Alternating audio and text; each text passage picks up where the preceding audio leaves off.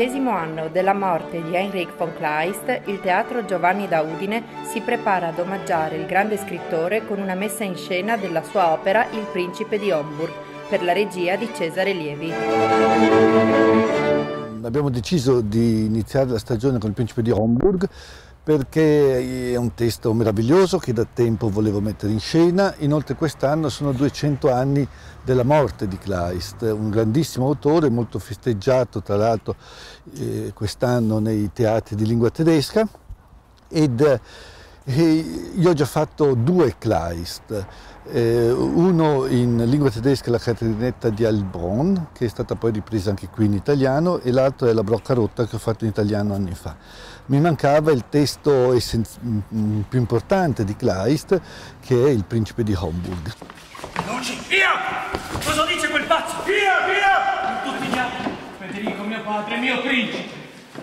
Il sogno in Kleist è trattato come elemento importante, come forza vitale che non va assolutamente fatta tacere e non importa, anzi il sogno deve scontrarsi con il suo opposto che è la regola, la legge, la norma, eh, le convenzioni.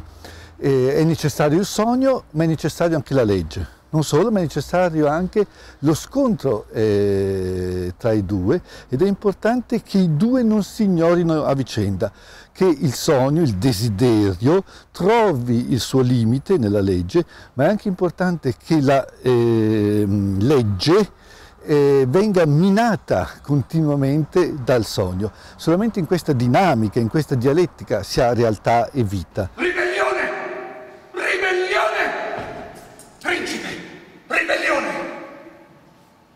Eh, a mio avviso in questo testo ci sono cose che ci riguardano molto, molto da vicino, come dicevo, anzi sembrano parlare proprio eh, d'ora, de, della nostra società. Quindi un motivo potrebbe essere questo, cioè, e questo è un po' eh, il motivo, il leitmotiv eh, del teatro che faccio e del teatro che programmo, cioè cercare di parlare il più possibile eh, della realtà.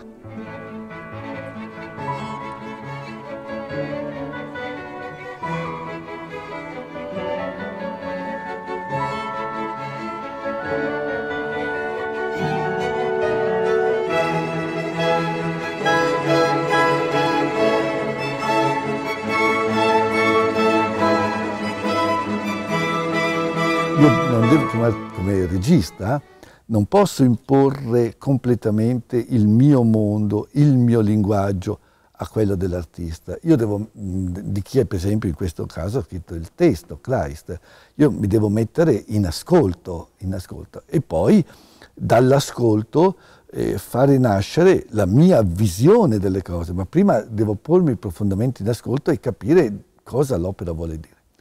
Chiaramente io penso che eh, il testo di Kleist, tutto il testo di Kleist sia un sogno e anche il mio teatro è un sogno, ma da sempre, cioè è, è, forse il mio modo eh, di accostarmi eh, al mio lavoro, ma anche alla realtà.